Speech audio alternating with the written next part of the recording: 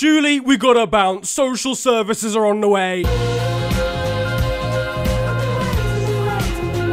Why, hello there everyone, fancy seeing you all here, and welcome to yet another edition of Football This Week, the series where I bring you the best, but more frequently the worst, of what football on social media has to offer. You lot have been receiving this series really well, as per usual, FTW fever has even spread to the back end of a moving car, but I'm afraid it's time for the international break. No, no, no, trust me, I, I realise it's not the most enthralling thing. Costa Rica's manager Gustavo Matosas even resigned from the job because he was so physically bored of international football. Does it not say a lot about it when one of its own managers just literally gets so fed up he actually quits his own job? I've genuinely had enough. There's nothing good comes out of international qualifiers. It's literally so dull. Eight goals. I've seen trigger-happy police officers less shocking than this. England beat Kosovo 5-3 in a Euro 2020 qualifier this week. Genuinely, this may well have been one of the most ridiculous games I've ever witnessed. And it started with Kosovo taking lead after just one minute of the game. It's fair to say the reaction of Kosovan commentators was absolutely priceless after Berisha's goal. Berizza! Scorchio Moreno!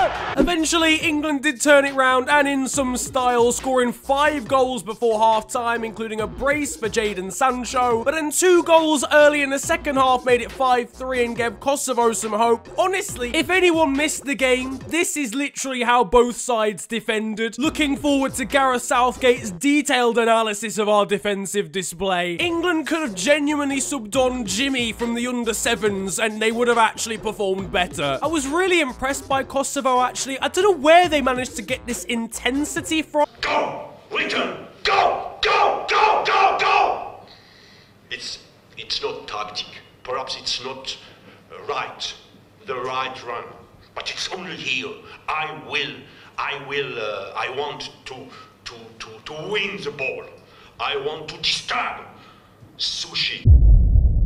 All right, that intensity, I've just sort of worked out where it's coming from. And it's lights out and away we go! Go! Go! Go! Go! The Kosovan manager just seems to be annoyed by everything. I can't be arsed. We've conceded five goals to a team that's gassed at beating Tunisia. Vernon, mate, just wanted to let you know you're on TV, son. Ah, yeah, sorry, I, I pronounced that wrong. I meant to say I love the Queen. At the end of the day, we've conceded three goals to a team that was created in 2014. We've only marginally beaten a five-year-old. that, that can't run. That's not allowed. Nah, to be honest, I was impressed by Kosovo. They're a good team. They've got some good young players as well. They'll grow and be decent in the future. England are just England. I don't know why we ever get hyped about them. Over in Scotland, it was a 4-0 defeat to Belgium, which has not gone down well. I mean, to be honest, is this not expected? I know the scoreline is not great. Belgium are a very good side. What is going wrong, though, with Scotland? Because they've got some decent players, and an octopus has been to more major tournaments than them since 2000. So, over in France, the national team were playing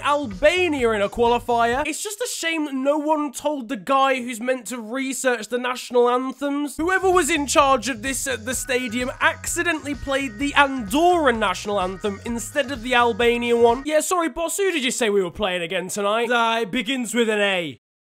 Alright, top job, that'll do for me. If you're gonna just play random music over the national anthems, at least make it worthwhile.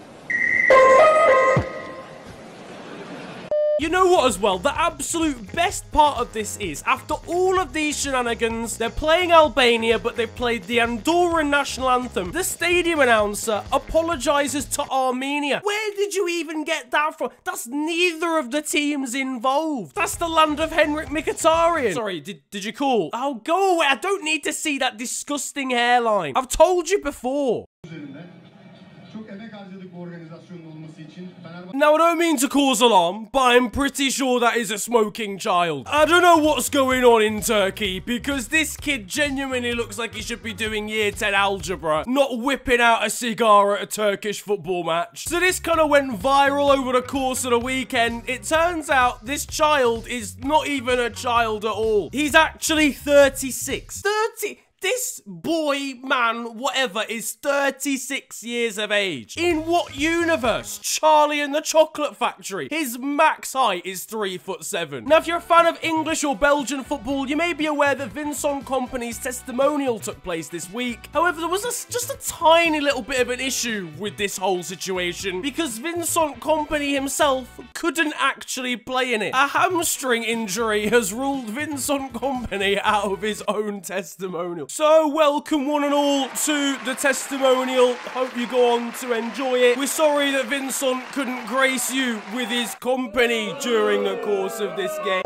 Could they not, you know, sort of just rearrange it maybe? I mean, it's Kompany's testimonial and he can't even play in it at all. It's like Star Wars without a Skywalker. It's like E.T. without well, E.T. being in it. It's like the Marvel Universe without Spider. Actually, wait, no, I can't. Hello, all, and welcome to The Beautiful Game, the segment where we take a look at the poetic and brilliant side of the game that we love. We are back by popular demand for yet more glorious beauty.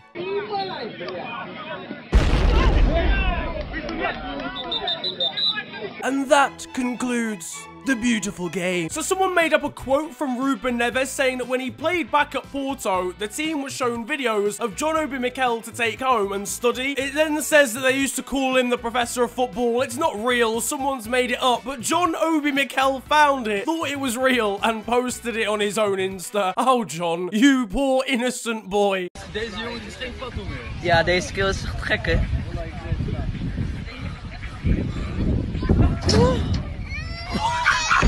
Now, this is all well and good, but is that Scott McTominay? Whether it is or it isn't, it's a shithousery award in my opinion. That time of the week once again though, folks. It is time for Still Nil Nil. And of course, this is a segment of the show where we talk about the best and worst of Sunday League football. Spoiler alert, it is pretty much always the worst. Ah, I can't lie. Now, I'm gonna be brutally honest with you, lads. I actually don't even know how to explain this week's video. So the team in red are on the attack. Now, I'm already seeing one issue. There's a the opposition goalkeeper has just come out and tried to tackle him. I will say that's not exactly normal. Neither is it the fact the other goalkeeper is also in the wrong end of the pitch. Now, one other thing I've thought about here is, well, you've got the team in red, but where actually is the other team? We haven't seen the other team yet. Now, I will be honest with you, I think we can categorize this as another abnormality. But it sets up a situation where the attacker in red has got to score past every single outfielder. This is his moment to do the unthinkable. I give up. That's no, no, that's it. I've had enough with this segment. I'm done. I've had enough. Someone else can present it next week.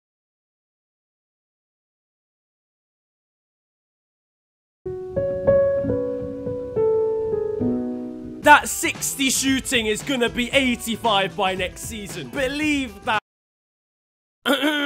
Alright, so listen, this has this could have gone better than it has, Rian. So then like Janine was like, oh my god, no way could that possibly happen. And then look look at this. I was I was trying to tell Julie that like you, you if I throw myself off this balcony now, will I survive? Because I'm genuinely considering. Meanwhile, in more feel-good news, N'Golo Kante was invited to the wedding of a Chelsea fan, and he actually attended. I actually love this man. Like he's just so adorable. And finally, a small country in Africa by the name of Djibouti have never ever got to the second round of African Cup of Nations qualifying. This year, they did. For the first time in their history, and one of my good friends, Kutsi, on YouTube, has done series with them in the past. He's got an affinity to them. Him and his subscribers reacted to the final minutes of the game, and it is amazing. Mash it out. Ten seconds!